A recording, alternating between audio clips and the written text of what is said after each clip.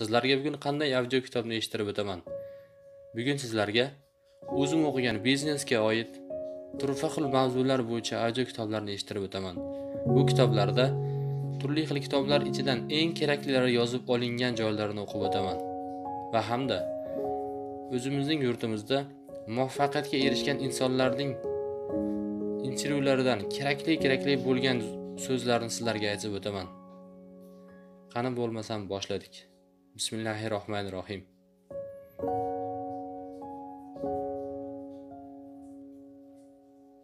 Deyl Karnegidan. Mendom tushkunlikka tushganimda shularga amal qilishim shart. Birinchi savol. Ayni paytda meni nima bezovta qilyapti? Javob. Javobni yozma ravishda tashvishlarim boisini ifoda etaman. Ikkinchi savol. Bu borada men qanday chora ko'raman? Javob.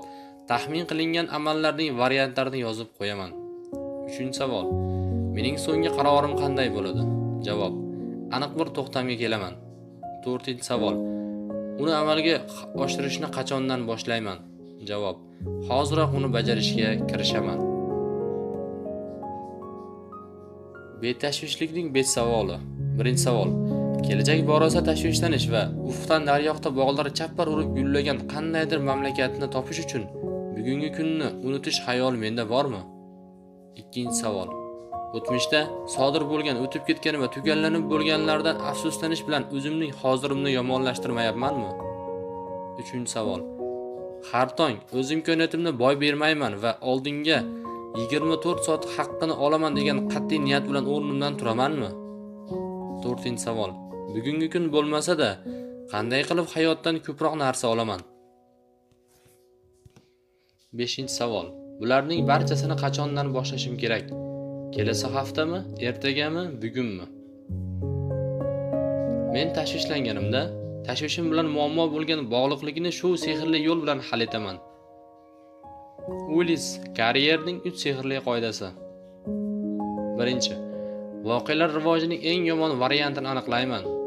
Ikkinchi, agar boshqasi buyurilmagan bo'lsa, uni qabul qilishga hozirlik ko'raman. Uchinchi, ish ahvolini yaxshilash uchun xotirjamlik bilan harakat qilaman. Tashvish bilan kurasha olmagan ishbilarmon inqirozga uchrashi aniq. Del karnegina Mening biznes ish faoliyatimda muammo yuz bersa, quyidagi 3 ta savolga javob yozaman. Birinchi savol. Muammo nimadan iborat? Ikkinchi savol.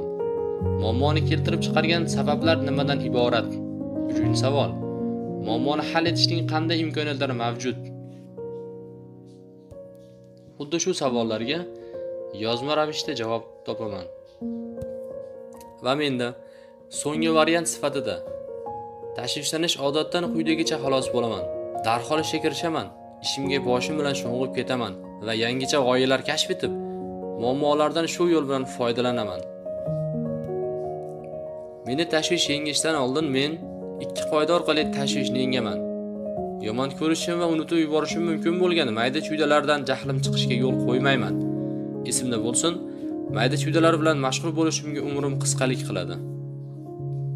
Tashvishlanish odatdan xalos bo'lish uchun 3-qoidaga rioya qilaman. Keling, ishni mohiyatini ko'rib chiqaman. Menda notinchlik keltirib chiqarayotgan voqea haqiqatdan ham sodir bo'lish ehtimoli qanday deb o'zimdan so'rayman. Mening boshimga kulfat tushganida shu 4-qoidaga amal qilaman. Taqdirimga tikka boqaman. Dale Carnegie'dan. Dale Carnegie singari men ham har gal sa'y-harakatimni arzimaydigan maqsadga erishish uchun yo'naltirmoqchi bo'lganimda to'xtayman va o'zimga 3 ta savolni beraman. 5-qoida. Birinchi savol. Bu savol men uchun qay darajada muhim? Ikkinchi savol. Unga nisbatan men zararni cheklash tartibidan qachon foydalanaman va unutaman? Uchinchi savol. Bu hushtakning asl narxi qancha? Unga kerakdan ortiqcha pul to'lab yubormadimmi? del Carnegie singari men ham shu 6-qoidaga amal qilaman. 6-qoida. Qipiqni aralashga urinmayman.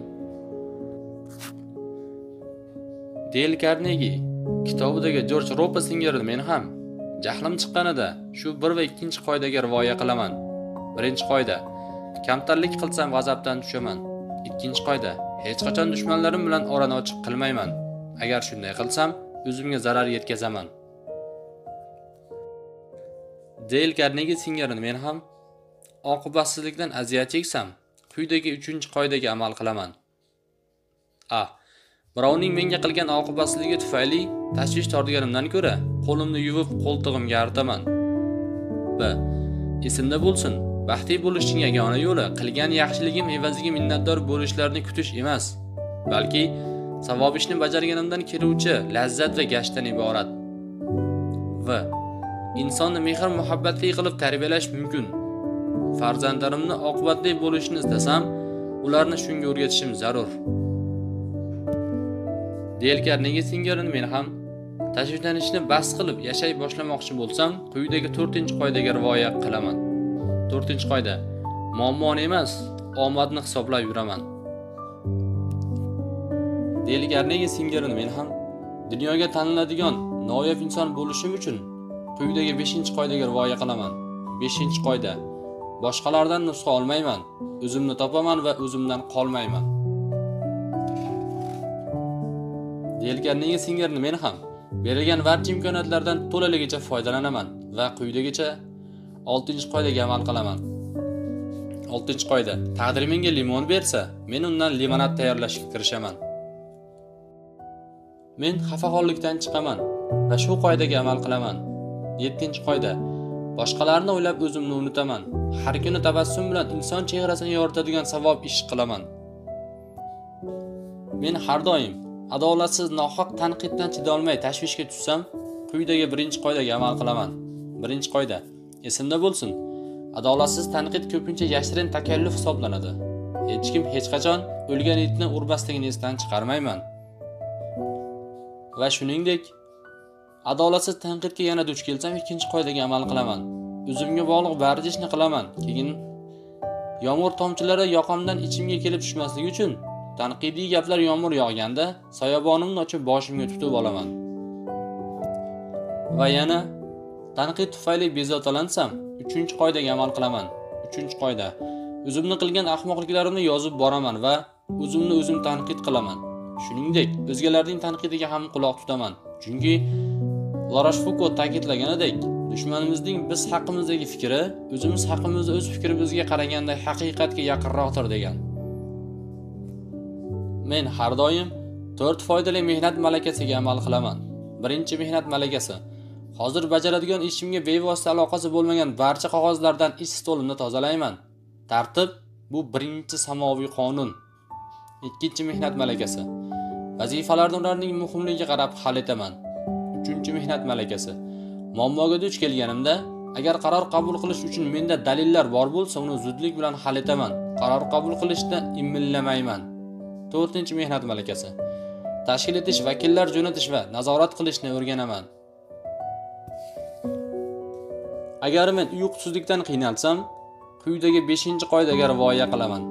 Agar uyqum kelmasa samuel untermeyer singarin ish tutaman. Uyqum kelishiga muntazir bo'lmayman faqat ishlayman. Ikkinchi uyqusizlik hali hech kimning jonini olgan emas. Uyqusizlikdan ko'ra uni o'ylab tashvishlansam ko'proq zarar chekaman. Uchinchi uyqusizlikdan aziyat cheksam ko'proq duo o'qiyman. To'rtinchi badanimni zo'riqishdan asrayman shunga oid kitoblarni o'qiyman. Beshinchi jismoniy tarbiya bilan shug'ullanaman. Uyqum kelgunga qadar sevgan ishim bilan mashg'ul bo'laman. Endi sizlarga ijtimoiy tarmoqlarda o'z biznes treninglarini olib borayotgan ravshanbek xonniyozning saboqli gaplaridan gapirib o'taman va ularning kitoblaridan olgan bilimlarimni alohida qilib ajratib yozib qo'yganlarimni o'qib o'taman. Ravshanbek xonniyozdan. Hayot biz uchun bir ko'zgu bo'lib kulib qarasak kulib javob qaytaradi jahl bilan qarasak jahl bilan javob qaytaradi. Biz aql bilan ish tutib va o'sha ishimizning ustasi bo'lsak albatta biz muvaffaqiyatga erishamiz. Ravshanbek xonniyozning ajoyib yettita qoidali hamyoning qurib qolishdan saqlovchi usuli. Birinchi qoida hamyonimni to'ldirishga harakat qilaman. Va xarajat vaqtida hamyonimdagi 10 tangadan faqat 9 tasini olaman. Ikkinchi qoida men sarflayotgan pullarimni qattiq nazoratga olaman va go'yoki mening qo'ygan maqsadimga erishish uchun to'sqinlik qiladigan xarajatlardan voz kechaman. Hamyonimdagi o'nta tangadan qolgan bitta tangaga ehtiyoj sezmayman. Uchinchi qoida har bir ortiqcha mablag'im hattoki tiginni ham saqlab qo'yishga kirishaman. To'rtinchi qoida men to'lib qolgan hamyonimni kamaytirishda pul bilan aloqasi yaxshi insonlardan maslahatlashib shoshib sarf etmayman. Beshinchi qoida.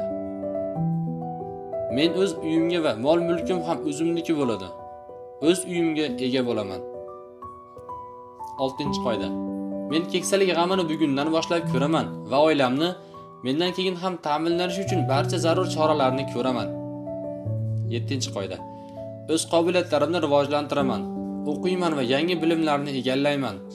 Mutaxassisligimni yanada yangi uslub va yo'nalishlar bilan boyitaman. Shu tarzda o'zimga ishonchni mustahkamlab istaklarimni amalga oshirishga olaman. Men shu yetti ustunlik qoidaga halol yo'l bilan amal qilsam boyishim va uzoq faoliyat yuritishim mumkin.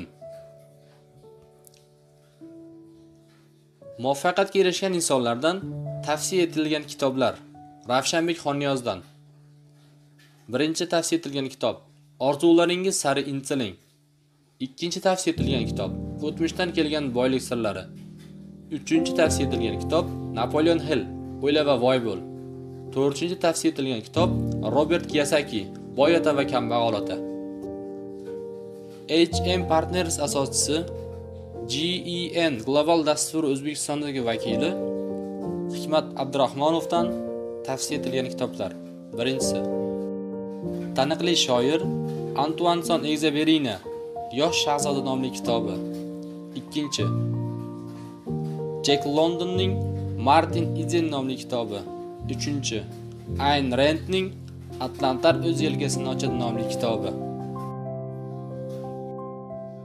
Yana o'zbekistonning taniqli tadbirkorlaridan biri murat nazarov murat building asoschisidan biznesga oid iboralar. Birinchi. Robin sharma. Har birimiz tug'ilganimizda atrof xursand bo'lgan biz yig'laganmiz. Shunday hayot kechiraylikki o'layotganimizda biz kulaylik hamma yig'lasin. Ikkinchi haqiqiy tadbirkor qanday qilib muvaffaqiyatga erishadi degan savolga quyidagi javob berganlar. Haqiqiy tadbirkor zamonaviy texnologiyalar bilan mahalliy texnologiyalarni bir biriga moslashtira bilish kerak. Shundagina muvaffaqiyatga erishadi deb javob berganlar. Va hamda o'zbekistondagi taniqli tadbirkorlardan biri murod majidovdan. Hozirgi kunda o'qiyotgan bilimlarimiz hozirgi bugungi kunda olayotgan bilimlarimiz faqatgina bugunga yetadi xolos. Va yana ravshanbek xonniyozdan biznesga oid iboralar hayot bu marafon. Muvaffaqiyatga erishmoqchi bo'lsang 100 metrga emas kilometrlab yugursanggina erishasan. Muvaffaqiyatsiz dunyo bu loyqa suvga to'ldirilgan basseyn basseyndan chiqsanggina erishasan muvaffaqiyatga. Ammo chiqishing uchun senga qarshilik qilishadi. Chiqolmaysan urinma senga emas deb. Va yana shuningdek muvaffaqiyat bu qaror qabul qilish. Qaror qabul qilish bu itoat etish. Itoat etish bu o'z so'zida turish. Boy insonlar ham ma'naviy ham moddiy yordamni qachonki vaqti kelganda yordam tariqasida bera olishlari kerak va xatolardan o'rinli saboq chiqarishlari kerak. Va shu o'rinda ravshanbek xonniyozning aktiv va passiv so'zlariga alohida urg'u berib o'tganini aytib o'tamiz. Aktiv bu sog'liq sog'liq bu muvaffaqiyat. Demak ham aktiv ham sog'lom bo'la turib muvaffaqiyatga erishish mumkin ekan. Keyingi ibora passiv. Passiv bu sog'liq. Sog'liq esa mag'lubiyat. Demak passiv bo'la turib sog'lom bo'lish mumkin ekan. Sog'lom bo'la turib mag'lubiyat ham bo'lish mumkin ekan. Va shu o'rinda aktiv sog'lig'iga bog'liqligi ham aytib o'tiladi. Aktiv bu bemor. Bemor bu mag'lubiyat. Demak aktiv bo'la turib ham bemor bo'lish mumkin. Bemor bo'lgandan keyin esa mag'lubiyatga uchralish aniq. Ikkinchi ibora passiv. Passiv bu bemor. Bemor bu mag'lubiyat. Demak passivga ega bo'lib turib ham bemor bo'lish mumkin ekan.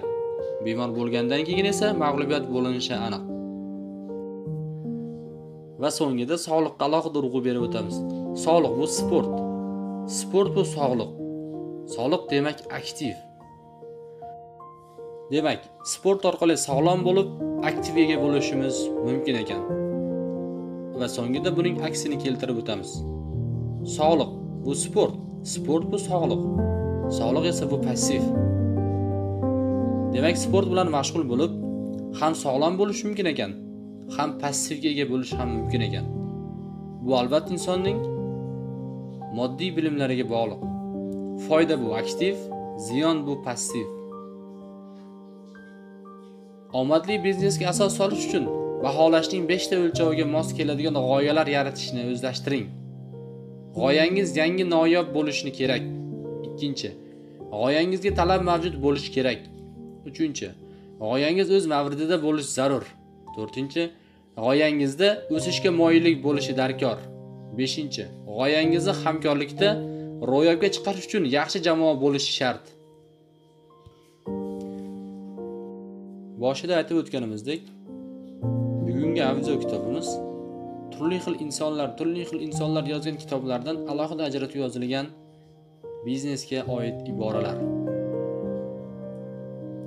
Del karnegiydan men maqsadimga erishmoqchi bo'lsam quyidagicha harakat qilaman. Mushukni quvlagan buldukdek harakat qilaman. Del karnegining nutq madaniyati haqida. Omma oldida gapirmoqchi bo'lganimda shularga amal qilishim shart. Birinchi nutqimni maqsadga erishmoq uchun kuchli va mustahkam sababga ega bo'lgan holda boshlayman. Ikkinchi nima demoqchi ekaningizni qat'iy ravishda anglab oling. Uchinchi ishonchni namoyon eting. To'rtinchi amalda qo'llang amalda qo'llang va yana amalda qo'llang. Ford kompaniyasining asoschisi genri forddan. Men qo'limdan kelgan hamma narsani qilaman va hammasini qilib bo'lib keyin taqdirga tashlab qo'yaman. Ha hammasini qilib bo'lib lekin 99% g'alabani o'zim qila olaman. Amazon kompaniyasi asoschisidan aqlli bo'lish mumkin o'ta aqlli bo'lish mumkin lekin o'z vaqtida qarorni qabul qilishga shijoatingiz bo'lishi kerak. Undan keyin esa mehnat va yana mehnat va yana mehnat qilish kerak. Muvaffaqiyat bu nima? Mag'lubiyatdan kerakli xulosa bilan harakat qilish. Ha taslim bo'lmay harakat qilish. Muvaffaqiyat deyiladi. Xitoylik taniqli tadbirkorlardan biri alibaba nuqta comning asoschisi jekmadan kerakli ma'lumotlar. Jekma boshlang'ich sinfda imtihondan yiqilgan. 5 sinfda 3 ta imtihondan yiqilgan. 3 yil institutga kira olmagan. 30 xil ishga qabul qilishmagan. Politsiyaga ham qabul qilishmagan. Lavashxonaga ham qabul qilishmagan. Garvard universitetiga 10 marta topshirib kira olmagan. Biz yiqilishga ko'nikishimiz kerak. Hech kim mukammal emas. Biz kurashaveramiz biz nolimaymiz deydi jekma inson boshqalar haqida shikoyat qilsa negativ fikrlar bildiraversa bu inson yutuqqa erishmaydi. Odam o'zini ustida ishlab bu xatoni qildim keyin safar qilmayman deb harakat qilsa yutuqqa erishadi. Va jekma so'zlarining so'ngida shunday deydi. Qarshimda ikki yo'l turibdi. Biri o'zim uchun ishlash ikkinchisi esa boshqalar uchun ishlash. Taniqli kitoblar muallifi robert kasagidan jurnalist xodimlari tasodifan muvaffaqiyat to'g'risida fikrlarni so'rashganida robert kasagi shunday javob beradi. Qachonki men sizlarga oylik to'lar ekanman. Siz o'zingizni ishchilardek his etasiz. Qachonki sizlarga oylik to'langandagina miyangiz ishlashdan to'xtaydi. Bu tuzoq tadbirkorlar bepul ishlashadi ular oylik olishmaydi. Qachon siz biror narsani orzu qilsangiz unga qanday yetish haqida o'ylaysiz. Maktab ta'limi sizlarni ishchi xodimlar bo'lishingiz uchun o'qitadi. O'z kasbingizni mutaxassisi bo'lsangiz shifokor yoki yurist ammo u hech qachon pul bilan to'g'ri muomalada bo'lishni o'rgatmaydi. Kambag'al odamlar doim oramizda bo'ladi chunki bu yerimiz boshimizdan boshlanadi. Kambag'allik ularning so'zlaridan boshlanadi. So'zlar haqiqatga aylanadi. Qachonki ular men bu ishni qila olmayman bu men uchun emas deganida ular taslim bo'ladilar. Ular o'z so'zlarining mahsulidir. Mening kambag'al otam doim shunday deydi. Meni kim deb o'ylayapsan. Men pulni bosib chiqaramanmi? Bunga olishga qurbim yetmaydi der edi mening boy otam eshitganda aynan mana shuning uchun va u kambag'al der edi kambag'al odam buni qila olmayman. Bu men uchun emas. Bunga vaqtim yo'q deb aytadi. Ular o'zlaridan qochishadi. Bu jumboqli aylana men buni qila olmayman. Men juda charchadim yoki men sport zaliga bora olmayman deyish juda oson. Ammo siz o'sha paytda bora olishingizni bilsangizda men qila olmayman deysiz. Haqiqatga esa siz shunchaki sport zaliga borishga erinasiz. Jurnalist robert gasaykin yana savolga tutdi. Boyatangiz men buni qilolmayman deyishni o'rniga nima degan bo'lar edi? Robert qanday buni qilsam bo'ladi? Nima qilsam bo'ladi? Savol miyangizni ochadi. Shunchaki xulosangiz esa uni yopib qo'yadi. Shuning uchun men buni qila olmayman deganingizda miyangiz tamoman o'chadi va siz gapingizni quliga aylanasiz. Uyda o'tirgan ko'pchilik odamlar iqtisodiy qiyinchiliklardan aziyat chekmoqda. Pul haqida ko'p o'ylamoqda. Hattoki ular ko'p pul topsa-da o'zlarining ishlaridan mamnun emas balki ularni shunday o'qitishgan. Sizga boylik yomonlik yoki sen hech qachon boy bo'la olmaysan deyishadi. Siz miyangizdagi o'ylaringizni o'zgartirmas ekansiz. Pul sizga yordam bera olmaydi. Va shunday deb robert kasaki o'z suhbatini yakunlaydi. Mavzuyimiz so'ngida biznesga oid aksiya aksiyalar dividend haqida gapirib o'tamiz. Aksiya nima? Bu uning egasi hissadorlik jamiyati kapitaliga o'zining ma'lum hissasini qo'shganligiga va uning foydasidan dividend shaklida daromad olish huquqiga ega bo'lish uchun guvohlik beruvchi qimmatbaho qog'ozdir. Bundan tashqari aksiya korxonani boshqarishda qatnashish huquqiga ham ega bo'ladi. Aksiyalar. Maxsus tovarlar sifatida sotiladi va sotib olinadi. Shu sababli o'zining narxiga ega aksiyada ifodalangan pul summasining nominal qiymati deyiladi. Aksiyaning fond bozorida sotilgan narxi aksiya kursi deb atalib u olinadigan dividend miqdoriga to'g'ri munosib. Foiz miqdoriga esa teskari mutanosibda bo'ladi. Xaridor aksiyani undan olinadigan daromadi bankka qo'yiladigan puldan keladigan foizdan kam bo'lmagan taqdirdagina sotib oladi. Aksiya aksiyadorga ikki xil huquqni beradi. Birinchi mulkiy huquq. Ikkinchi nomulkiy huquq. Aksiyalarni ro'yxatga olish bo'yicha fond bozorida qayd etilgan va qayd etilmagan turlari bor. Aksiyalar investorni quyidagi xususiyatlari bo'yicha jalb qiladi. Birinchi ovoz berish. Ikkinchi kapitalni o'sishi. Uchinchi qo'shimcha imtiyozlar. To'rtinchi keyingi emissiyaga yozilish huquqi. Beshinchi mulkka egalik qilish huquqi. Dividend nima? Dividend lotincha so'zdan olingan bo'lib dividendum taqsimlanadigan narsa. Aksiyadorlar jamiyati foydasidan aksiya egasiga har yili beriladigan va uning daromadiga aylangan qismi dividend miqdori aksiyadorlar jamiyatining sof foydasi. Aksiyadorlar soni va qiymatiga bog'liq. Dividend har yili aksiyadorlarning qo'lidagi aksiya miqdori va turiga muvofiq taqsimlanadi investitsiya nima? Bu sizning passiv daromadingiz. Investitsiya bu kelajakda naf olish maqsadida mablag' qo'yishdir. Passiv daromad investor tomonidan biron bir loyiha yoki moliyaviy instrumentga investitsiya kiritish orqali doimiy moliyaviy foyda olish. Ulgurji savdo nima? Katta partiyalardan tovar va mahsulotlarni o'z mulkiga sotib olib iste'molchilarga sotuvchi savdo turi. Chakana savdo nima? Tovarlarni so'nggi iste'molchilarga sotuvchi savdo. Bu savdo bilan shug'ullanganda mustaqil do'konlar maxsus do'konlar va supermarketlardan foydalaniladi. Tashqi savdo nima? Bir mamlakatning boshqa mamlakat yoki mamlakatlar bilan olib boriladigan savdosi. Mamlakatdan tovarlar chiqarish va eksport va mamlakatga tovarlar kiritish importdan tashkil topadi. Xalqaro savdo nima? Bu turli davlat va milliy xo'jaliklarni o'rtasidagi tovarlar va xizmatlarning ayirboshlash jarayonidir. Xalqaro savdo qadimdan mavjud. Bo'lsada faqat 19 asrga kelib ya'ni deyarli barcha rivojlangan mamlakatlar xalqaro savdo aloqalarida ishtirok eta boshlashi bilan jahon bozori shakliga kiradi. Xalqaro savdo tashqi savdo aylanmasi eksport va import savdo balansi kabi ko'rsatkichlar bilan tavsiflanadi. Auksion nima? Maxsus kimosh savdo bozorlari tovarlarni talabgor xaridorlarga sotish tovar savdosi uning egasi bilan savdo firmasi o'rtasida yuz berib unda bevosita iste'molchi qatnashmaydi. Marketing nima? Xaridorlarning aniq guruhlari ehtiyojlarini qondirish bozor muammolarining yechishiga har tomonlama yondashish ehtiyojlarni ayirboshlash yordamida qondirishga qaratilgan faoliyat turi. Marketing asosida bozorni har taraflama o'rganish yo'naltirishning asoslaridan quyidagilarni ko'rsatib o'tish zarur. Birinchi talabni o'rganish. Ikkinchi bozor tarkibini aniqlash. Uchinchi tovarni o'rganish. To'rtinchi raqobat sharoitlarini tadqiq qilish. Beshinchi sotish shakli va usullarini tahlil qilish. Marketing nimani o'rgatadi?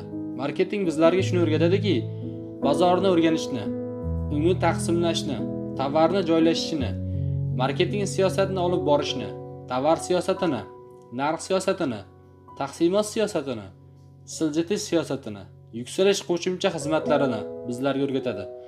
Bunga marka sotishdan keyingi xizmatlarni plyus kafolat va texnik yordam yetkazib berish assortiment shaxsiy iste'mol va boshqalarni kiritish mumkin. Kapital nima?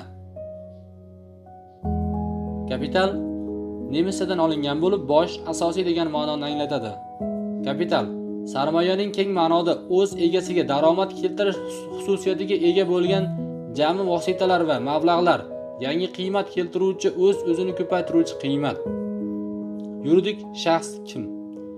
O'z mulkida xo'jalik yuritishda yoki operativ boshqaruvda alohida mol mulki ega bo'lgan hamda o'z majburiyatlari yuzasidan ushbu mol mulk bilan javob beradigan o'z nomidan mulki yoki shaxsiy nomulkni huquqlariga ega bo'ladigan va ularni amalga oshira oladigan majburiyatlarni bajara oladigan sudda da'vogar va javobgar bo'la oladigan tashkilot hisoblanadi. Yuridik shaxslar ikki turga bo'linadi. Tijorat tashkilotlar va notijorat tashkilotlar. Yakka tadbirkorlar kim? Yakka tadbirkorlar jismoniy shaxs davlat bilan hech qanday shartnoma asosida ishlamaydigan shaxs notijorat tashkilot nima asosiy maqsadi foyda olmaslik va u foydani ishtirokchilar bilan taqsimlamaslik bo'lgan tashkilot. Bu tashkilotga ijtimoiy xayriya madaniy va hokazolar kiradi. Birja nima? Birja hamyon degan ma'noni beradi. Bozor uyushtirishning tashkiliy shakli ulgurji savdosi tovar bo'lgan ish kuchi oldi sotdi bozori deyiladi. Va shu o'rinda hozirgi kunlarda yangi bozorga kirib kelayotganlar yoki o'z faoliyatini yuritayotganlardan marhum hazratimiz shayx muhammad sotiq muhammad yusuf hazratlariga bir savol kelib tushdi. Savdo sotiqda qancha foiz qo'yish kerak? Javob narxnavo qo'yishda bozorga qarab narx belgilanadi yoki uchdan bir qismini qo'yish ham mumkin. Shunday qilib sizlar bilan azizlar turfa avzo biznes kitoblarining birinchi qismini yakunlaymiz.